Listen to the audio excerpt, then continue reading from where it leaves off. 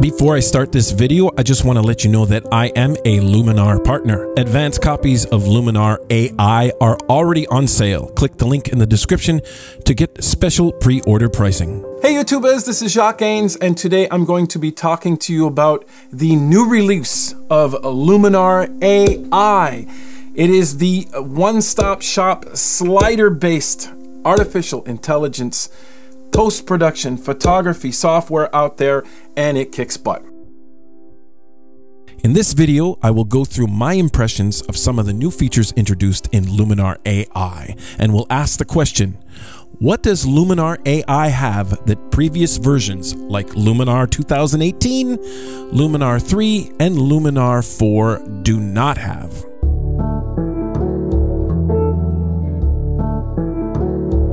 So even with older versions of Luminar, even the 2018 version, I was always really, really amazed by the instant gratification you could get out of this software. Now, as miraculous as it is, it, there are pros and cons to the software, and that's what I want to talk about really, really quick.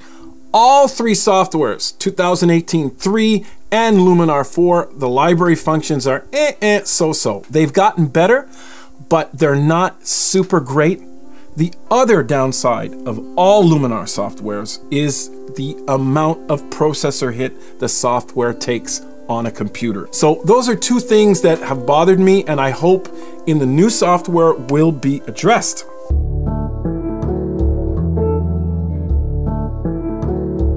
So what does Luminar AI promise? Well, the people at Skylum Software promise a lot of stuff that will be nothing short of groundbreaking. Luminar is a fully redesigned software. That means they started from the core and built up. This is good news and bad news for some people. The good news is I speculate that a lot of the performance issues that Luminar 4 had will be gone. The bad news is that you will not be able to move your catalogs from Luminar 4 to AI.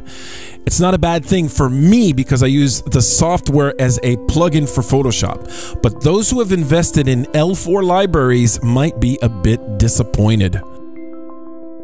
The user interface has had a 100% look overhaul. However, the UI keeps the same slider based and tab based edit feel on the right hand side of the photo you are editing. The feel is a bit less dark, a bit more blue, and brighter in general. Luminar keeps up with its tradition of giving brands to its edit sliders.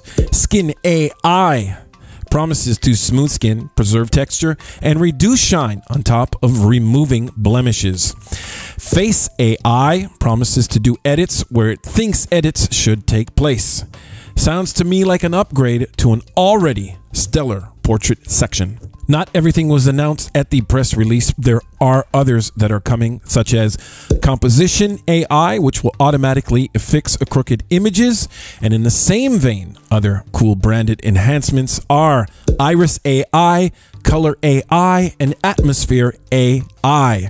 All these new branded enhancements will obviously be doing everything via AI, which is artificial intelligence. Therefore, look for adjusting iris with artificial intelligence, adjusting color and atmosphere with artificial intelligence.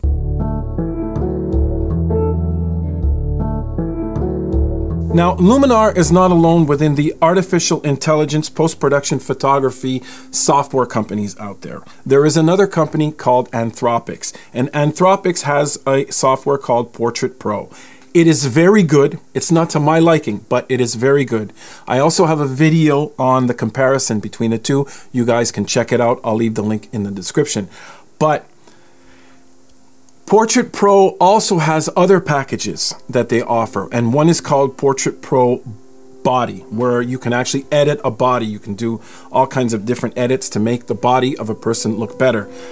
Well, now within Luminar AI, they have what's called Body AI. I'm very anxious to see what it is, but if you ask me, it's going to be paralleled or very similar to what Portrait Pro Body does within their software.